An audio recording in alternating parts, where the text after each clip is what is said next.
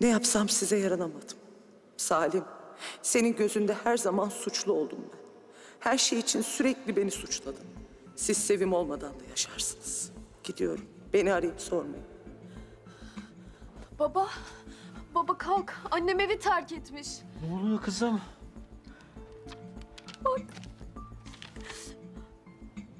Annem evi terk etmiş baba. Ah Sevim ah. Bunu da yaptın sonunda. Ya anlamıyorum nasıl böyle bir şey yapar? Bizi nasıl yalnız bırakır baba?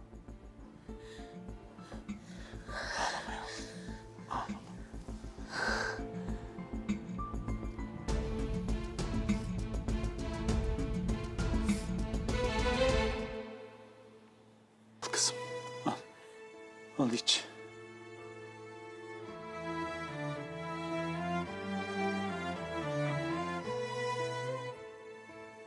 Gider baba?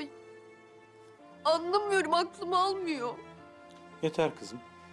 Harap ettin kendini. Yani çıkar gelir. Sen bakma annenin yazdıklarına. Ya nasıl böyle bir şey yapar baba? Hem de durduk yere. Yoksa bana söylemediğiniz bir şey mi var?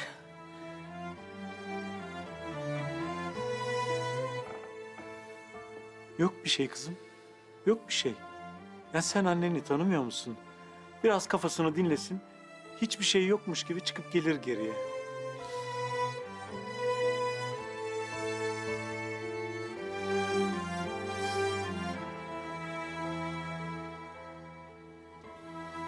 Ya gelmezse?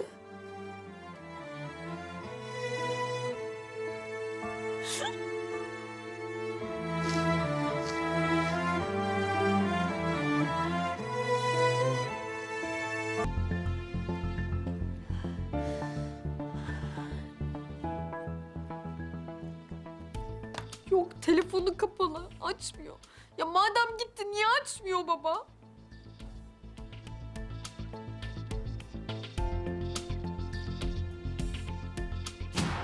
Ben ne yaptıysam bizim için Sus Sevim, sus! Bu saatten sonra söylediğin hiçbir şeyin kıymeti yok. Seni asla affetmeyeceğim.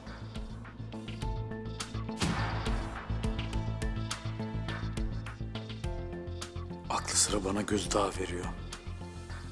Öyle olsun Sevim. Nasılsa döneceksin. Ne? Duymuyorum hiçbir şey. Dur ağlama. Ne diyorsun anlamıyorum. Ya durdur arabayı duymuyorum. Durdur dedim.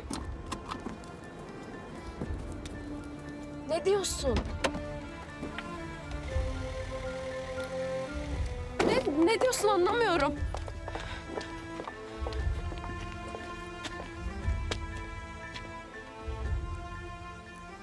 Gitmiş mi? Nasıl? Nasıl gitmiş?